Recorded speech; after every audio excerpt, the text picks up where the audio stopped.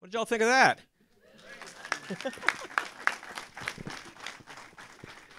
well, I thought it was fantastic too. My name is Kenneth Hoffman. I'm the executive director of the Museum of the Southern Jewish Experience here in New Orleans. Uh, so now let me uh, quickly introduce our panelists here. Uh, we're going to start with uh, Marcie. Well, raise your hand so they'll know who I'm talking about. Dr. Marcie Cohen Ferris um, was born and raised in northeastern Arkansas. Ferris's deep attachment to the study of place and the American South is rooted in her childhood. For over 40 years, she has studied, taught, and written about the South, largely through its foodways, material culture, and the Southern Jewish experience. As a professor emeritus in the Department of American Studies at the University of North Carolina at Chapel Hill, Ferris is an editor for Southern Cultures, a quarterly journal of the history and culture of the U.S. South, and a project um, and a project of the Center of the Study of the American South. She served as the center's interim director from 2022 to 2023. Uh, she has taught many classes there. Uh, she's written many books. Um, and and most uh, interestingly enough to me was that she was the project director for the Museum of the Southern Jewish Experience in Jackson, Mississippi, and in Utica, Mississippi, when the museum was originally at the camp from 1991 to 1994. Next, we have Dr. Stuart Rockoff. Stuart Rockoff was born in Fort Worth and raised in Houston, Texas, and graduated from Wesleyan University with a BA in history. He received his PhD in U.S. history from the University of Texas at Austin, with a special emphasis on race, immigration, and American Jewish history. He has taught courses in American and ethnic history at um, such schools as the University of Texas and Millsaps College, and has published numerous articles and essays on Southern Jewish history. For 11 years, he served as the historian of the Goldring Woldenberg Institute of Southern Jewish Life. In, 2013, in, in 2013, he became the uh, executive director of the Mississippi Humanities Council, one of the 56 state, state and territorial affiliates of the National Endowment for the Humanities. Next, we have um, Susan Levitas, right? And Susan Levitas is a folklorist by training who has used documentary and feature films to capture unexpected facets of the cultural history of the American South. She directed and uh, she directed and produced films on the rich musical and cultural life of the South. In 2003, she produced Shalom Y'all, a documentary on the complex past and present of Jews in the American South, which you just saw. And then the star of our panel, of course, is Mr. Brian Bain. Brian is a Southern filmmaker born and raised in New Orleans.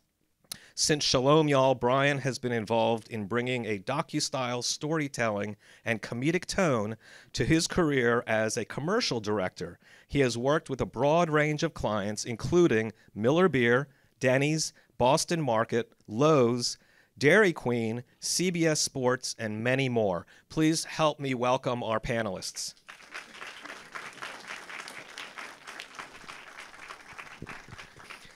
So what we're going to do is we're just going to talk a little bit about uh, the film. We're going to talk about what's happened uh, to the Southern Jewish experience over the last 20 years.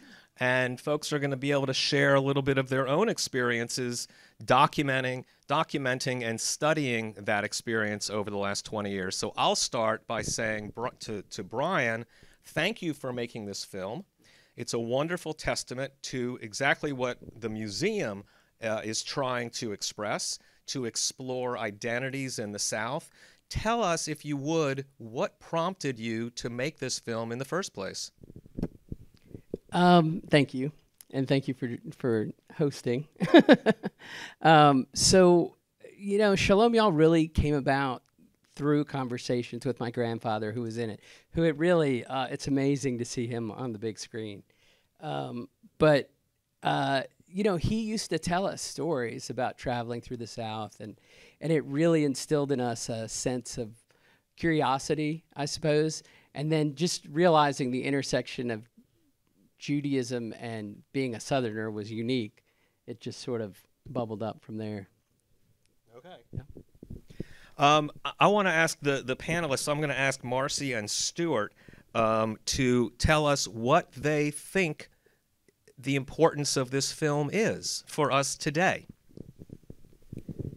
Stuart. You got it first. Oh, okay. This film is so important to me. It's it's really a classic film. You know, I I, I think it's got kind of cult status. Also, you know, Shalom Y'all, and I realized it came out at a really pivotal time for me. I mean, I've been involved in documenting and learning about and telling the story and learning the history of the Jewish South for most of my adult career. And this film was kind of at, at uh, you know, at the beginning of that as well, or at least when I, I left the Museum of the Southern Jewish Experience and was starting to teach at the University of North Carolina. And we started our Jewish Studies program that very same year in 2003. And so I've always showed the film. It's still on my syllabus. I, I teach a class um, that is about race, religion, and region, focused on the American Jewish, on the Jewish South. And I'll do that this spring. And this film is really important. And, you know, we were talking before that I think it points to 20 years ago. Well, Brian had kind of two babies the film and then also a baby baby and you know so we were trying to kind of look at and think like so much has so much has changed but it pointed to really nascent things that were happening in the region you know that have really come in that have evolved uh, and that we now see in a much more in, in, in much more detail today. But you know i just think it's it's a classic film. It captures a moment in time. There's been a you know a racial kind of reckoning and uh, you know revolution and so many things have happened uh, but we'll talk more about those Yeah, thanks, Marcie. I mean, I think that it is a lovely synthesis of the subject. Um, and I love how you used Eli, because Eli's book, The Provincials, sort of played a similar role as kind of a poetic overview. And so, yeah. Um, and so what's incredible is I, I, saw the film several times when it came out. I've done these sort of panels like 20, 18 years ago with Brian and Susan in various places. But prior prior to rewatching it, I talked with Marcie and thought, you know, what are some of the trends that have happened since then that that probably aren't in the film? And I was struck by watching it like they were on top of stuff. So the growth of suburban Atlanta as the future of the 21st century Southern Jewish community, um, the increasing racial diversity of the Jewish community. Y'all had Reuben Greenberg in the film, and so so it's both a lovely synthesis 20 years ago, but also in sort of many ways kind of remarkably prescient uh, about the trends that would continue and still shape us today. Thank you very much. Susan, tell us the story. Cast your mind back 20 years or more to how you and Brian came together to, to have to make this uh, this movie. Um, I also want to thank the panelists so much for for speaking about the film and really thinking about what's gone on in the past um, 20 years. So I uh, came down to New Orleans in the mid 90s. I was producing a feature film, but I was showing a documentary that I had made on African American music traditions in Washington, D.C., called the Music District at the New Orleans Film Festival. And I met Brian there, and we just talked about projects we were working on. And he mentioned this thing he was working on called Shalom Y'all, and my mind blew because I'm a Southern Jew and I was a documentary filmmaker. He already had a producer, however, they were already they'd already sort of started on the path, and I thought, man, that just felt like you know meeting my my um, silver screen soulmate, and I've lost the opportunity. Um, and then ran into him later and found that the producer had it had not worked out. Um, they were sort of at a stall, and we got in. I got involved in working with him. It was yeah, and um, meant to be bashert, right?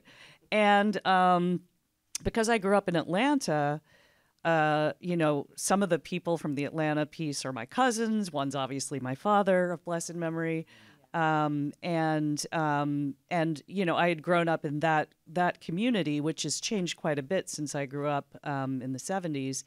And it was really funny working with Brian and, and so fun, but it was funny because it, to him, anything north of the I 10 was not the South.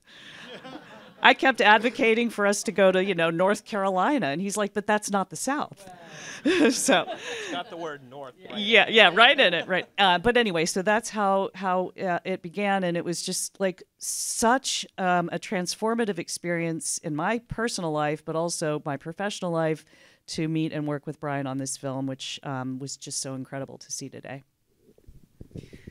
Brian, I know that when films are made, a majority of the of the of the whatever it's called nitrate it's not nitrate anymore the, but the film winds up on the cutting room floor and the film probably could have been five hours long with everything that you recorded um, what didn't make it into the film that that was the hardest to cut Um, that's a tough question. Um, yeah, we had 26, 27 hours of footage. And, um, and we worked with amazing editors that kept chipping away at it. And um, we did a lot of focus groups, believe it or not, where we were asking people, like, what resonates with you? What feels important to you? And um, that was really meaningful and really helped shape the film in a lot of ways. Um, there was a ama- there was an amazing alligator fisherman, a Jewish alligator fisherman, down the bayou, and um, named Hyman Saltz. I think also of blessed memory, and um, he was he was amazing. And unfortunately, I think it might be on the DVD in the bonus. If you own a DVD player, it's in the bonus scenes. But um, we may add it at some point. And oh, right, right. Oh, George Klein, who was Jewish and Elvis's best friend, we filmed him at Graceland, which was unbelievable. And um, you know, he told this great story. Elvis used to wear a Jewish star and a cross, and he would tell people, uh, "You know, I just I don't want to miss out on getting into heaven on a technicality." that was his. So He bought his Elvis jewelry came from Harry Levitch in Memphis. Yeah, the Harry Le- Harry Levitch had a beautiful yeah, and and in Lansky's he bought his clothes from. But just Brian related to the 26 hours of film and more, Susan.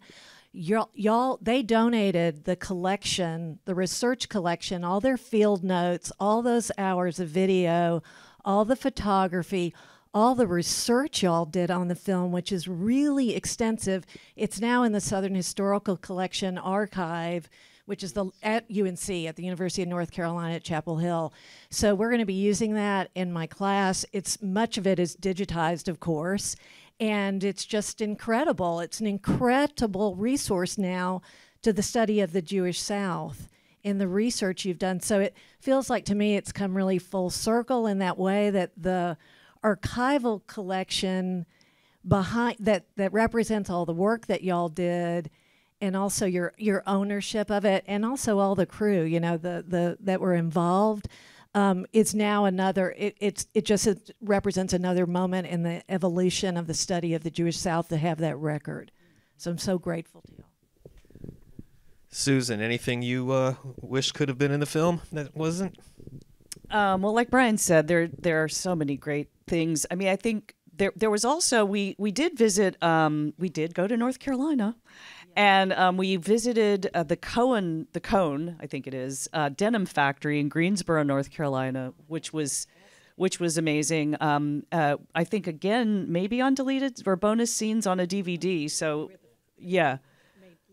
Made, they made Levi's jeans. Um, and we also went to um, the the the guys who the Orthodox guys who had the seafood restaurant in um, Hyman Seafood, yeah. So and and so there were thing there were so many scenes like that. Really, incre- I mean, standalone scenes that were incredible, but they didn't. Uh, you know, as filmmakers, we wanted to keep this to an hour, and um, less is more. And some of the these scenes and some of these stories were redundant. They somebody else was was telling that bit of information that was propelling the story forward in a more um, uh, in, in, a, in a better way or in a different way. And so um, it was a tough call, but I think those two were scenes that I thought were particularly interesting um, from the standpoint of, of a factory, Jewish factory, and um, also, uh, you know, the kind of relationship between, you know, like observance, being Orthodox Jews, but running a seafood restaurant as a but like Jack Crystal kind of represented a similar storyline, so that's why that got left out. Thank you. Uh, back to um, Stuart and Marcie. Uh, in the last 20 years, what what has changed about the Southern Jewish experience? And you have 30 seconds. no, just, just kidding. Let's start with Stuart. Go, go.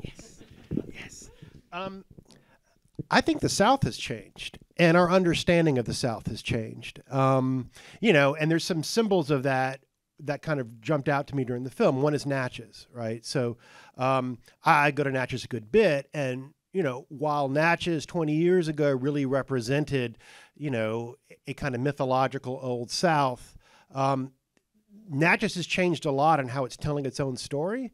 And so the notion of Southern Jews have to fit into that type of old white South mythology is different. And our understanding of the fact that in big parts of the South, uh, the South isn't white, right? Um, and so that's certainly true in Natchez. And so I think that our understanding of the South has changed. The South has changed. And I loved at the end when Brian used the Mississippi state flag. And I forget the, the term you used, it was sort of like a negative connotation of the South.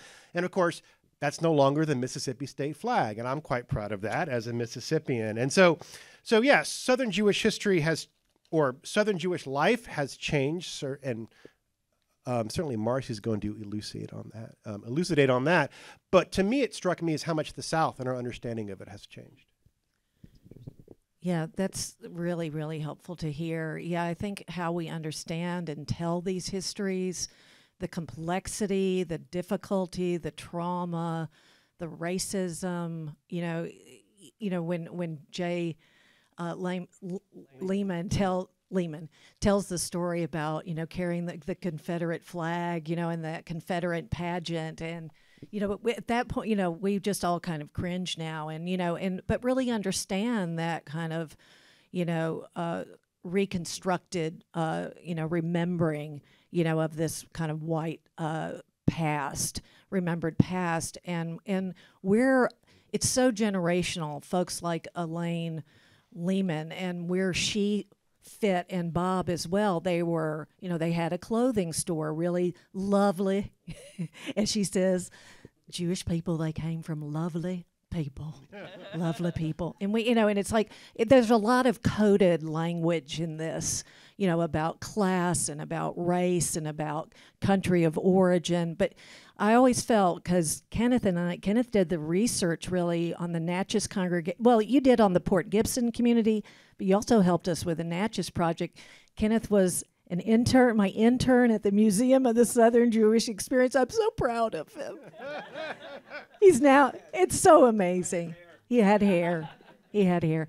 And so we were we were documenting celebrating the 100th anniversary of Gemiluth Chassed in Port Gibson and then also celebrating the long history of the Natchez congregation and it was somewhat of a little struggle with with Elaine at the time because she felt like she didn't say it but you could understand that in her 70s she they had it was the classic here are you out Jewish outsiders almost like civil rights worker Jewish civil rights workers who'd come into the South in the 60s and 70s from the North and ha- had a lot of resistance from Jewish members of congregations that said you're going to rock the boat and we need to just be as quiet as possible and protect you know pr- this is a very dangerous time you could still feel that sense of danger and vulnerability and fragility that Elaine felt in that congregation. It didn't have anything to do with the fact that they were just eight members.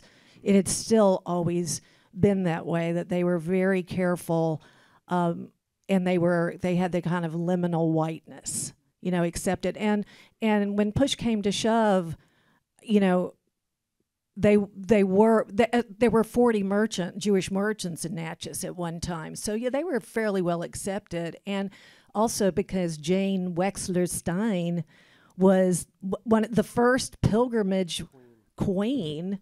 And I remember Lane saying she never looked that good again. it's a very Ju- very Jewish. She looked so good then, but yeah, she did look good. Excuse me. And she did. I just, because I thought that, you know, I was like, Elaine, don't say that, because that is a fabulous photograph and it's just an incredible history. But it really talks about, you know, that the agency that Jews had in Natchez, that they were part of that pilgrimage garden club. And what that thing was was was a response to raising money in a in a depression era in Natchez uh, that was the you know economy was really really flat and how were they going to you know try to bring some business back to Natchez and that was through tourism. Um, and what's amazing is that is that that Natchez congregation is still open. Um, they probably have a few fewer, a few fewer, somewhat fewer members, but they still hold services not regularly, but once in a while. And what's remarkable is when they hold services, there are probably more non-Jews in the sanctuary than Jews. Um, there are a lot of people in Natchez who really treasure that congregation and are helping to kind of keep it active uh, as best it can be. But it's still, you know, very very small. But 20 years later. I think some of the most uh, profound statements in the film maybe came from Eli Evans, who we recently lost in the last in the last few years, couple of years. Um, really, the patron saint, if we can say that for Jews, of uh, poet, poet laureate, poet laureate of the Southern Jewish experience. Um, uh, grew up in North Carolina. His father was the mayor of Durham, five-time elected mayor of Durham, North Carolina, um, and wrote some wonderful um, both histories but also personal remembrances of uh, of being Jewish in the South. And and and one of the things he said that I wrote down because I thought it was really interesting. Well, two things. One, he says there's no holy book on how to be Southern. So that's interesting because there's a lot of different kinds of Southerners. Texas is different from Virginia, is different from Florida. Um, but he also said Judaism is something uh, you can take with you around the world. Southern is an identity tied to place. And I'm wondering, Susan, if you have anything to say about that dichotomy. Well, it's you know it's interesting. I have to say to watch a film like this um, 20 years on and in the kind of political context we're in right now because uh, there's so much conversation around place and attachment and um, identity. Um, I think that it, but but to speak more directly, so so that's just struck me as I've watched the film, and also just to your point about the kind of reckoning that we've thank thankfully gone through. Things have shifted. It's it's very weird to watch some of this now um, because we were the children of people who were also trying to get by and so-called pass as white. Um, but I mean, just from a personal perspective, I didn't realize the kind of um, fervor with which Southern Jews, especially in smaller towns, um, felt around their attachment to place until I took this trip. Because, yeah, you know, I did grow up in Atlanta, which already, even then, had a, you know, a lot of Jewish congregations and more, you know, yeah, maybe we were the second Jews to move into our neighborhood, which is now flipped and is completely Jewish. But um, we we didn't feel like Jack Crystal did, or or you know, people in smaller towns. So that was very impactful to me personally to sort of see um, in these places throughout the South where people felt um, in- incredibly either afraid or welcomed or just in general over time and over generations attached to place in a way that as a folklorist I hadn't seen um, as I'd traveled around different parts of the country. So there was that this was something that I we talked about a lot. What is this southern thing? There is no handbook, but what is this essence, this sort of thing that had been defined by the rest of the country, this idea in the cultural imagination, but also this thing that was embraced um, by Jews across the religious spectrum, and um, it it was a, an essence, a thing that especially felt strong uh, in smaller parts of the South. I don't know how I got the mic, Brian. Don't you? um, that's a really good point, Susan. And it, it, sort of struck me how. So what's changed is that we've seen further continuation, of, you know, um, um, of the trends. Smaller Jewish congregations and communities have have shrunk or closed.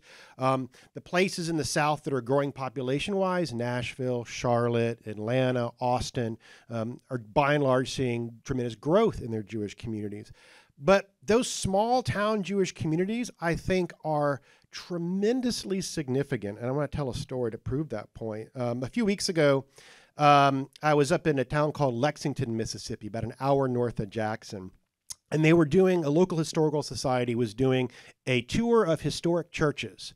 And we had a little bit of funding in there, the Humanities Council. So I went, and the tour was uh, a white Methodist church, a black AME church, and the Jewish synagogue that hadn't had a service since 2009. And so there was there was one Jewish family left in Lexington. They sold the store on the square. Cohen's. This is Phil Cohen. Um, and yet, 15 years after the closing of that synagogue, when they thought about what are the historic religious structures in our community, that Temple Bethel was part of the tour. And so, even when the last Jewish person moves away or passes away in Lexington, there is a sense that that presence um, made the South a more diverse place. It helped people understand religious diversity. Doesn't always stick and all things like that.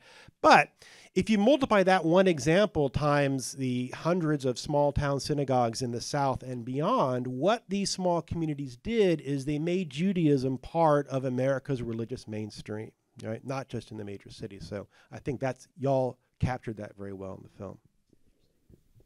But one thing Stuart was saying too that the growth that we're seeing in cities, even like near us, Durham, North Carolina, incredible growth in its Jewish community, much younger, also COVID related. Uh, a lot of um, in you know people moving during COVID, seeking you know maybe a better quality of life, thinking they could find that in Durham, and I understand that.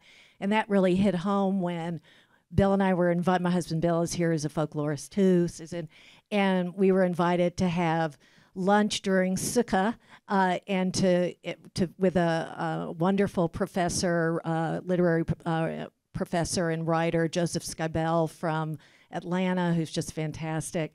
He teaches at Emory, and he had come over to, to to be with his daughter. He just had a child, and so they're observant. He grew up in Texas, you know, Jewish, uh, you know, not so observant there, but has really become so.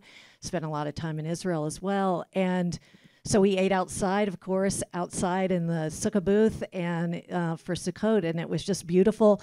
And I looked across the street, and there was another Sukkot, uh, you know, uh, another sukkah booth right across the street. And I'm like, wow, it's like we're in a little Jewish ghetto or something in Durham. You know, we were in a young neighbor a, a young neighborhood so you can really feel feel that change yeah that vibrancy is really is really happening so we're gonna have to uh, we're gonna have to end this because there this was so popular this event that there is a six o'clock screening that was added. So we're gonna need to close it up. So I'm gonna say something that I'm gonna give it to Brian to to to end. Uh, another Eli Evans thing that I loved was when he said, "I always say this is a braided experience. It's like the challah. The challah is a twisted experience, but all the bread is one thing. Um, and at the Museum of the Southern Jewish Experience, when young people come in on field trips, we do an activity with them where we talk about identity and what is your identity. And you actually have many identities all twisted together to make you. Um, and that's what we're trying to show that it's okay to have different identities. It's okay to explore different identities, to understand your neighbors or strangers' different identities. That's the universal lesson that the museum is trying to show. And I think this film does a very good job of doing that as well. I'm going to turn it over to Brian. He's going to he's going to close us out. All right, thank you. Um, I just wanted to thank everybody again for coming out. It's crazy that it's been 20 years, first of all, and um, and just uh, it's it's wonderful to hear that it still resonates with your students and um, and the people sitting up here were so they have their fingerprints on this film from the beginning, really, each and every one of you in some way, and um, and I. Right, we're. I'm still married. Julie's here. Julie, come up here, say hi. Um, when we were in New York, and and yeah, and Susan met Jake at a shalom because of Shalom Y'all. So there you go. Uh, but seriously, um, no, they they we really Amy and I who did, Amy did an amazing job planning this. Thank you so much. Um, we really um, I felt like it was important for you guys to be here um, because the landscape has changed somewhat, and I really felt like your voices uh, resonated beautifully today. So thank you for being here. And thank my parents. Hey, mom and dad. and my brothers and their wives and nephews and other relatives. The mishpucha. Yeah, go to the Museum of the Southern Jewish Experience. We'll be around afterwards to visit.